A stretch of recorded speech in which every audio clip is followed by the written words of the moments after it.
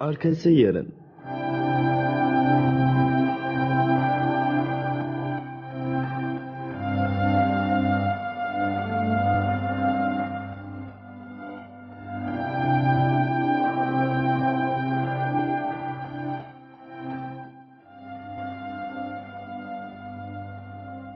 Garip Cinayetler 2. Bölüm Yapım Mehmet Köseoğlu Senaryo Tayfun Türkili Program Yönetmeni Haluk Kesim.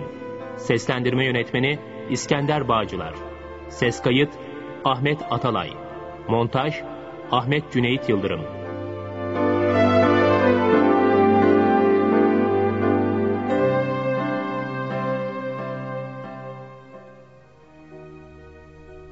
Erol adında sabıkalı genç bir adam, kendisinden yaşça bir hayli büyük olan sosyetenin tanınmış zengin kadınlarından Belkıs tarafından tabancayla öldürülür. Olaya cinayet masası komiseri Osman el koyar. Sabıkalı Erol'u öldüren katil Belkıs, cinayeti Erol'u çok sevdiği için işlediğini söyler. Ancak komiser Osman bu itirafa inanmaz.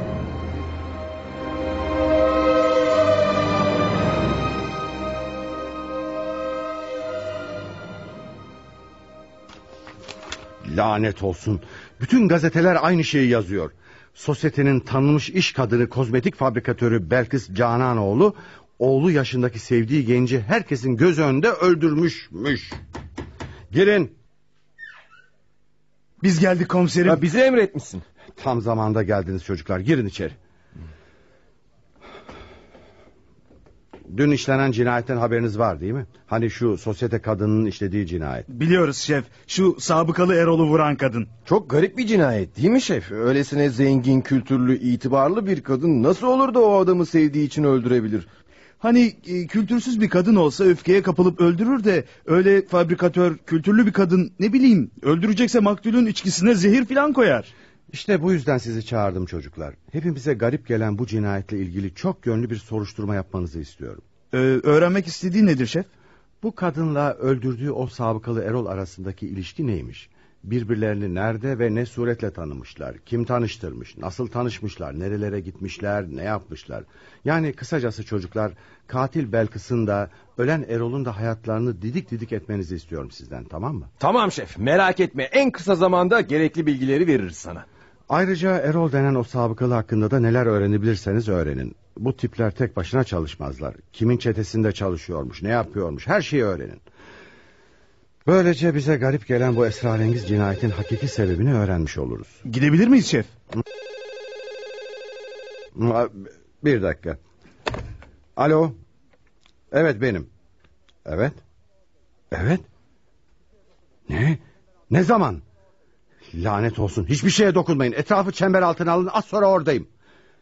Çıldırmak işten değil. Ne oldu şef? Nişantaşı'da bir cinayet işlenmiş. Kafeteryada bir adamı tabancayla vurarak öldürmüşler. Peki katili yakalamışlar mı şef? Evet, cinayeti işledikten sonra kaçacağına polisin gelip kendisini teslim almasını beklemiş. İlginç. Peki katil kimmiş? Bir kadın.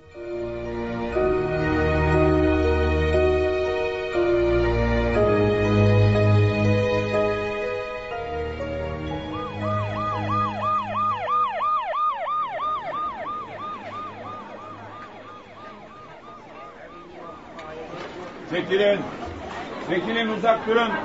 Bilim çevrilmiyor burada. Toplanmayın dağılın.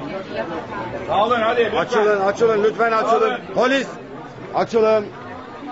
Lütfen açılın. Dağılın lütfen. Bilim çevrilmiyor kardeşim. Açılın şöyle. Hadi. Komiser dağılın. bey, komiser bey, Kim o? komiser bey. Aa, aa, siz misiniz Mübeccel Hanım? Hı hı. Hayrola yoksa sosyete muhabirliğini bırakıp da polis muhabirliğine mi başladın? Yok canım, polis muhabirliği benim işim değil. Madem öyle neden cinayet işlenen yerlerde bulunuyorsunuz? Ee, şey, tesadüf, tamamıyla bir tesadüf. Heh, o halde cinayeti de görmüş olmalı. Yo yo görmedim, Ee, sadece silah seslerini işittim. Peki katili gördünüz mü? Gördüm tabii, Onu da tanıyor musunuz yoksa? Ee, tabii. Ee, zira o da sosyeteden. Zengin bir fabrikatörün dul karısı, Sevil Hanım. Ne? Olamaz. Bu katil kadına bu sosyeteden. Evet öyle. Ee, Tesadüf işte. Ha, çok garip tesadüfler değil mi? Neyse müsaadenizle şimdi olayla ilgili soruşturmayı yönetmem gerekiyor. Sizinle daha sonra E, görüşürüz. tabii tabii sizi arar cinayet sebebini öğrenirim komiser bey.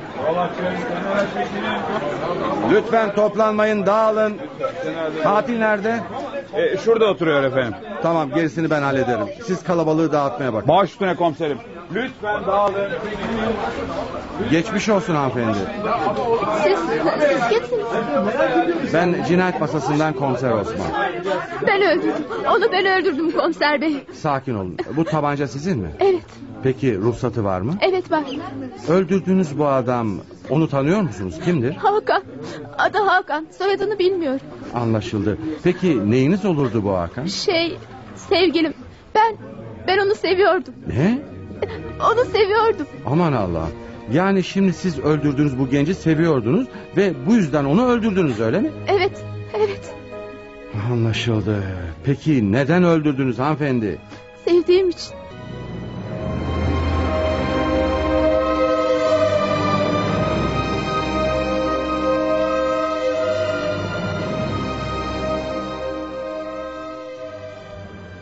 Çıldırmış mı bu kadınlar komiser?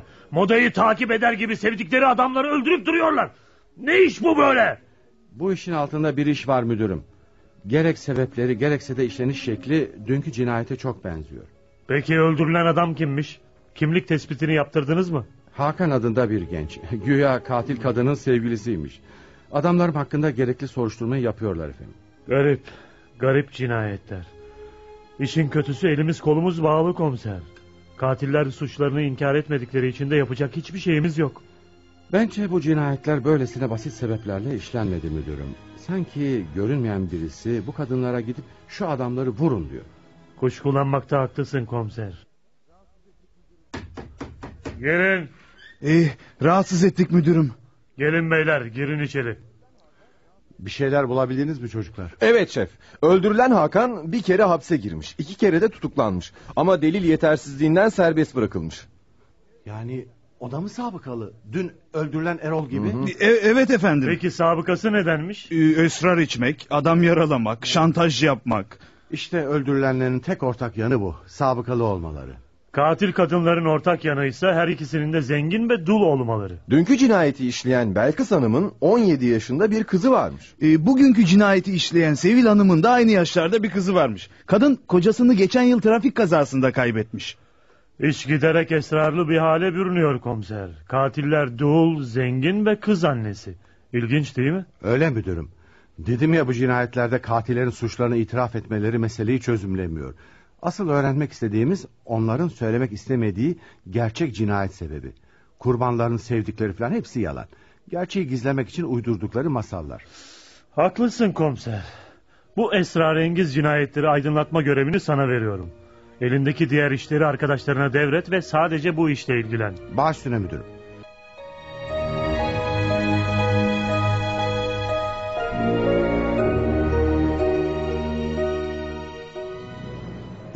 Şimdi ne yapacağız şef? Her iki katilin de kızlarının ne iş yaptığını öğrenin. Okuyorlar mı? Okuyorlarsa hangi okulda okuyorlar? Kimlerle gezip dolaşıyorlar? Ne yapıyorlar? Bütün bunları öğrenmenizi istiyorum. Baş üstüne şef. Ayrıca öldürülen o iki sabıkalı hakkında da çok ayrıntılı bir soruşturma yapmanızı istiyorum. Böyle zengin kadınlarla gezip dolaştıklarına göre ceplerinde hatır sayılır bir para olması gerekir. Parayı nereden bulduklarını, ne iş yaptıklarını öğrenin. Baş üstüne şef.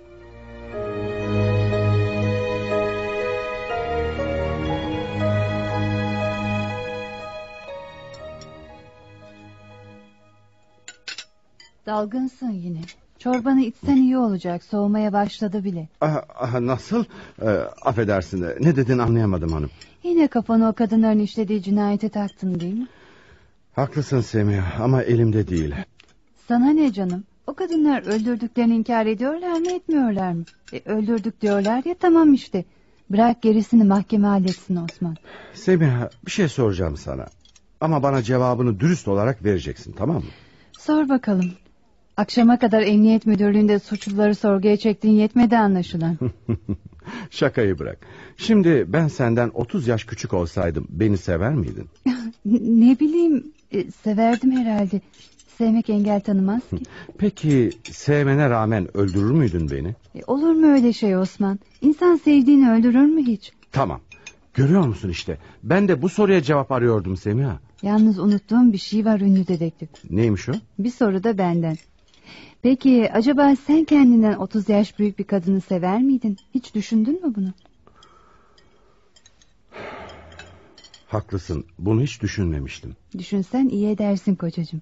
Sevmek konusunda fedakarlığı hep kadından beklemeyin. Biraz da siz fedakarlık etmeye bakın. Hadi çorban kesti ye artık. Tamam canım tamam.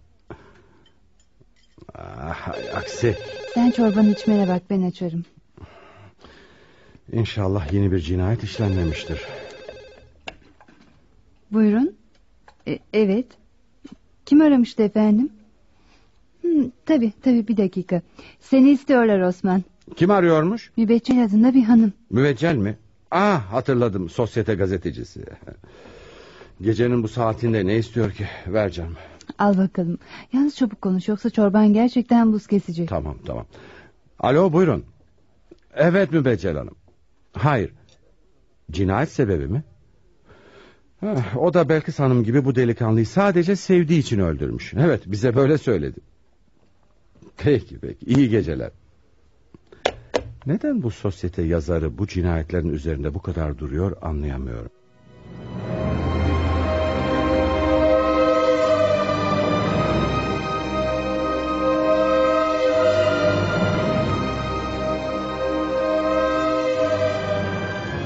Garip Cinayetler adlı oyunumuzun ikinci bölümünü dinlediniz.